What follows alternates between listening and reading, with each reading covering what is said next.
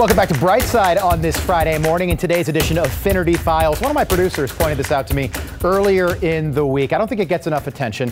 Unemployment numbers are way down, which is good news, right? Well, before you get too excited, I wanted to explain what those numbers really mean today in 2018. So first, the unemployment rate right now is at 3.8%. That's the lowest it's been since 2000 and the second lowest it's been in almost 60 years. So yes, that's good news compared to 2010 when it was at 10 percent. We remember those days. But the real reason that the unemployment rate is dropping so much has something to do with something else. Come on into my desk here. This is something that I wanted to bring up. Workforce participation rate. Not a sexy name, but it's something to be aware of. Today, it's at 62%. In 2000, it was at 68%, which is a lot higher. It's been falling now since 2000 for almost 15 straight years for two major reasons. The first, baby boomers, the biggest generation in American history, they are retiring. The second, a lot of people aren't even eligible to collect unemployment anymore because they've been out of work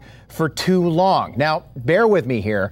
Not too many numbers, but if you're a baseball fan and you wanted to know how a baseball player like Mickey Mantle was doing in the old days, you'd look at his batting average. Basically, if he was hitting 300, that he was a good player. Fast forward to 2018, no one cares about batting average. Today, it's all about something called WAR, which is wins above replacement, which I am not going to explain right now. The point I'm making is times have changed. So when it comes to the unemployment rate, it's a lot easier to say. Networks love to talk about it, but it's today much more about that workforce participation rate. Thoughts, concerns, comments, let me know on my Facebook page at Rob Finnerty TV.